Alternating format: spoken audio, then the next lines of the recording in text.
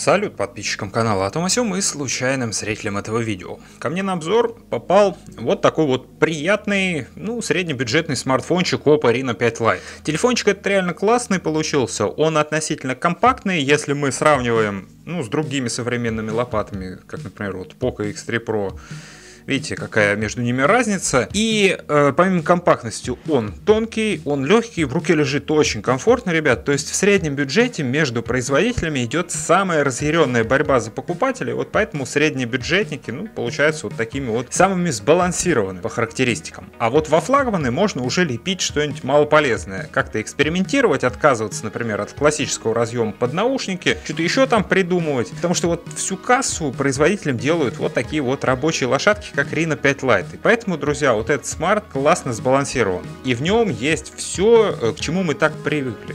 Ну, к примеру, да, банально тот же самый вот древний, но актуальный на все времена разъем под наушники. А также тут э, лоток под сим-карты не комбинированный, и вы можете сюда карточку памяти поставить, расширив память, без потери второй сим-карты. Причем э, этот смартфон и так оснащен э, немалым количеством памяти. В моей версии, например, 8 128 гигов. То есть все вот эти вот моменты, вся вот эта вот вроде бы мелочь создает общее такое приятное впечатление от устройства. Помимо этого, тут есть и другие другие интересные особенности, о которых я вам как раз хочу рассказать. И начнем мы, давайте, наверное, с комплектации по обыкновению. А, вот, в комплект сюда традиционно положили вот такой вот самый простейший силиконовый чехол и, а, естественно, зарядку. Зарядный блок тут вот такой вот массивный. По характеристикам он выдает 30 ватт максимум. И это как раз еще одна из фишек Reno 5 Lite. Он поддерживает 30-ваттную быструю зарядку. Вот такая вот пленка была наклеена на экран.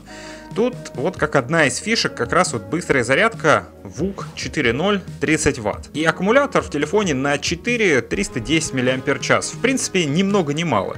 То есть на день работы этого вполне хватит. Быстрая зарядка может зарядить телефон с 0 до 100 за час. И, ну, скажу на вскидку, работы телефона на полном заряде вам хватит, ну, где-то при средней нагрузке часов на 8 э, работы экрана. Вот, помимо этого, в комплект положили наушники проводные, ну, такие вот, напоминают наушники от Apple. Тоже приятно, почему бы и нет, пускай будут. И теперь смотрите, у меня этот смартфон черного цвета. Переворачиваем его назад и видим, что задняя крышка не особо-то и черная. Он такой вот больше серый. А это градиент, и цвет немного переходит светло-серого в темно-серый. Задняя крышка тут пластиковая, она заляпывается конкретно, потому что она глянцевая. Блок камер, смотрите, вот такой вот, слегка он выпирает из корпуса. Боковые грани естественно, пластиковые, кнопка питания и кнопки громкости тут разнесены по разным бокам. В общем, получился такой вот, ну, лаконичный, нормальный дизайн. По эргономике смарт э, очень удобно. Особенно вот сейчас летом его комфортно будет носить э, в кармане шорт. По дисплею, как могли заметить, тут работает функция Always On Display, то есть тут установлена AMOLED матрица. И мы э, получаем несколько противоречивых моментов. Давайте по порядку. Тут с завода, смотрите, наклеена пленка на экране. Что за стеклышко э, дисплея? Я не знаю, ребят. Кто в курсе, дополните меня в комментариях. Но стекло это ровное, то есть легко сюда можно будет гидрогель какой-нибудь или защитный защитные стекла приклеить, то есть без проблем. Далее, смотрите, активируем экран и вот сейчас сразу, я думаю, в глаза бросилась вот эта вот нижняя толстая часть рамки. Это как раз таки отсылает нас к бюджетным и среднебюджетным моделям, к которым Reno 5 Lite как раз и относится. Но в целом по периметру экрана рамка очень тонкая, ребят. Фронталка тут в углу, это самое удачное расположение, потому что вот горизонтально, если используем смартфон, мы фронталку как раз перекрываем и общая площадь экрана, ну, визуально как бы становится больше. Слуховой динамик под узкой сеткой, тут еще датчики приближения освещения проглядываются, никаких тупников с ними, кстати говоря, нету, все работает работает четко. Как уже я говорил, тут установлена AMOLED-матрица и сканер отпечатка пальцев тут вкорячили под экран. Если мы с вами пройдем в AIDу и посмотрим более подробно характеристики экрана, Разрешение 1080 на 2400, AMOLED матрица 6,43 дюйма и смотрите, частота обновления 60 Гц. Вот тут вот реально удар под дых, потому что дисплей этот классный, ребят, качественная у него плотная картинка, то есть никаких пикселей тут нету. Достаточно сочные, такие яркие, насыщенные цвета, это присуще AMOLED. Даже, блин, сканер отпечатков пальцев тут под экраном, как у флагманов. Но, блин, в настройках, если мы пройдем в настройки экрана, то мы тут можем включить только э, светлую или темную тему, причем традиционно для смартфонов Oppo мы можем настроить режим затемнения, средний, блеклый и насыщенный, то есть полностью черный цвет, что будет актуально, в принципе, для AMOLED экранов, чтобы максимально экономить э, заряд батареи. И что еще можно сделать? Включить режим чтения и настроить вот цветовую температуру экрана. То есть такие вот банальные настройки, как и на любом другом смартфоне. Повышения герцовки тут нету. Но откровенно и без этого экран и взаимодействие с содержимым на экране достаточно комфортные. У AMOLED Matrix, кстати говоря, есть еще такая хрень, как мерцание. Тут в настройках как раз таки что важно, мы можем пройти и включить, точнее отключить э, мерцание экрана при низкой подсветке.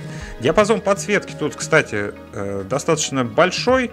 Максимальная яркость и вот минимальная яркость экран просто уходит в ноль практически. То есть при ярком освещении ни хрена не видно при темном освещении будет вообще комфортно, глаза бить не будет. Ну и, естественно, при низком освещении появляется у AMOLED э, как раз-таки закономерный шим, который мы можем вот отключить в настройках. То есть, в принципе, крутизны какой-то в возможностях экрана нет, он э, добротный, хотя в более дешевом, например, Oppo A53 экран поинтереснее будет. Поэтому все-таки вот отсутствие 90 Гц я могу записать в минусе. А в целом ну, экран, блин, получился нормально. По программному обеспечению, ребят, что можно сказать? Тут, э, значит, все будет привычно э, старым пользователям Android. Ну и вообще какой-то разницы вы не увидите, если до этого, например, пользовались смартфонами Realme, потому что тут установлена довольно красочная оболочка, которая, кстати говоря, так и называется Color OS. И это уже 11 версия ColorOS 11.1 она построена на базе 11 Android. Оболочка это очень похожа на Realme UI или на Oxygen OS со смартфонов OnePlus. Тут можно настроить абсолютно все, как-то кастомизировать внешний вид оболочки. То есть, в принципе, ребят, она достаточно гибкая по настройкам. Можно настроить как э, внешний вид оболочки, то есть поменять абсолютно все, обои, значки, э, вид значков, сделать их круглыми, квадратными. И также есть общие настройки смартфона, с различными интересными фишками. Конечно, тут не так много фишек, как в той же, например, пресловутой MIUI, но, тем не менее, все равно фишек достаточно. То есть не так скучно, как, например, с голым Android. Есть режим супер энергосбережения, который превращает вот, э, смартфон в обычную звонилку. В дополнительных настройках мы можем включить э, OTG, то есть разъем Type-C поддерживает тут функцию OTG. И что еще интересного?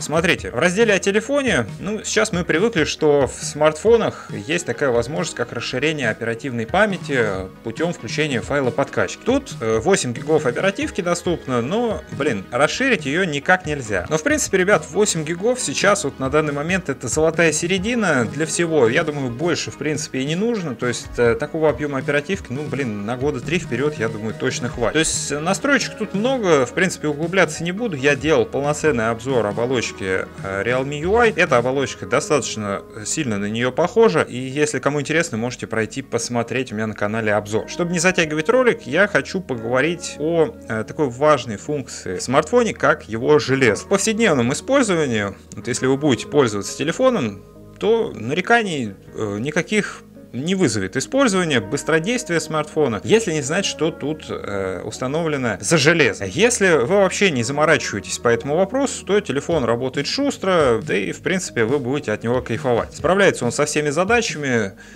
э, все нормально как бы. Если же вы по вопросу железа заморачиваетесь хоть как-то, то стоит вам зайти в AIDу и открыть э, информацию о процессоре, сразу у вас создаться, создастся впечатление, что что-то здесь не то, потому что тут MediaTek Helio P95. Да, ребят, проц этот не новый, 2020 года, да, он построен по 12-нанометровому техпроцессу, но в целом это неплохой процессор для среднебюджетного класса устройств. У него 8 ядер, 6 э, ядер энергоэффективных Cortex Cortex-A55 и два мощных ядра Cortex-A75 э, в пике выдают 2200 МГц. Э, то есть, в принципе, у нас диапазон частот получается 774 и 2200 МГц. За графику отвечает PowerVR ROG GM9446. То есть, вполне такое стандартное, скажем так, железо для э, среднебюджетного смартфона. Естественно, мы не говорим о каких-то тяжелых играх, э, хотя их и тут можно запустить, но, естественно, э, с пониженной графикой графикой. Ну и чтобы сравнивать этот,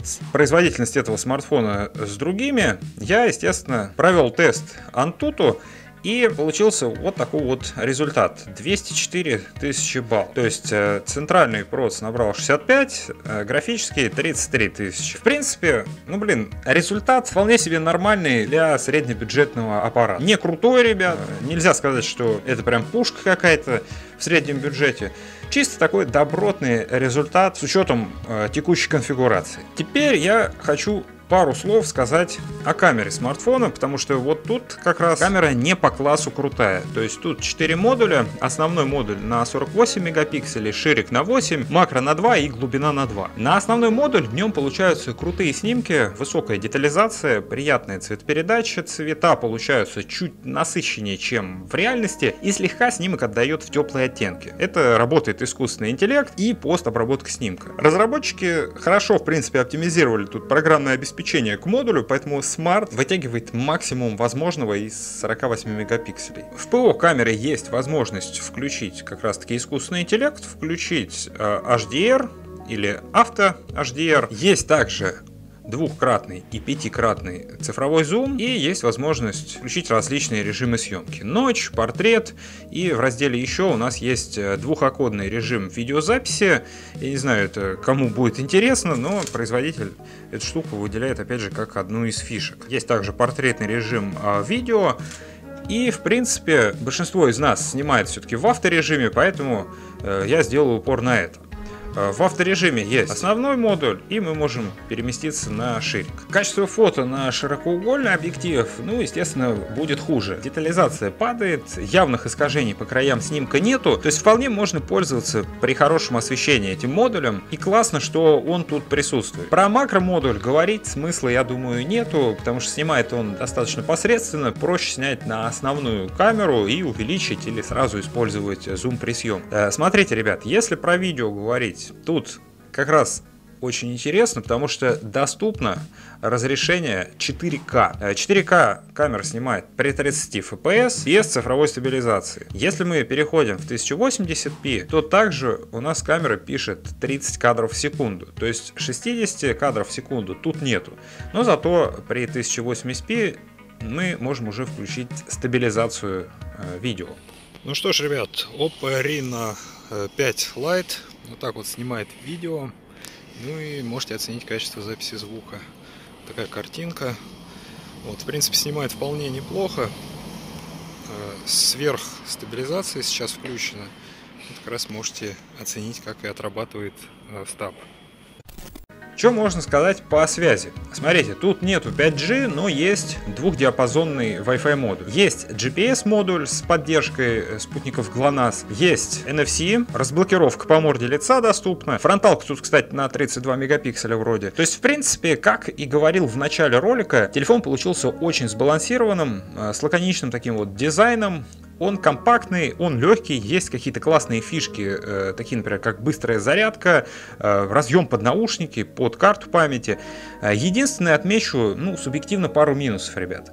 Дисплей классный, но, блин, фигачит он только на 60 Гц. Для кого-то, возможно, это критично, но, в принципе, для большинства пользователей это не так заметно. Есть более заметный минус, который сейчас как-то, ну, странно видеть в среднебюджетных смартфонах, потому что тут нету стереозвука. Здесь снизу один основной мультимедийный динамик, верхний динамик отвечает только за э, входящие вызовы. Все, то есть тут стереозвука нету, как-то вот не очень-то это круто в 2022. Ну, как-то вот откровенно не очень прикольно наблюдать вот такие вот вот упущение не в самом дешевом смартфоне. Хотя, в принципе, конечно же, он относится к среднему классу. Ну и особенно сейчас вот его можно купить с большой скидкой в период распродажи. С доставкой из России. Я ссылку, как всегда, оставлю в описании под видео. Там также прикреплю промокод на хорошую скидку, чтобы вы могли максимально сэкономить. Ну а на сегодня, ребят, у меня все. Огромное вам спасибо за внимание. Если хотите, проходите на канал, смотрите другие ролики, подписывайтесь. Всего вам доброго и до скорых встреч! thank you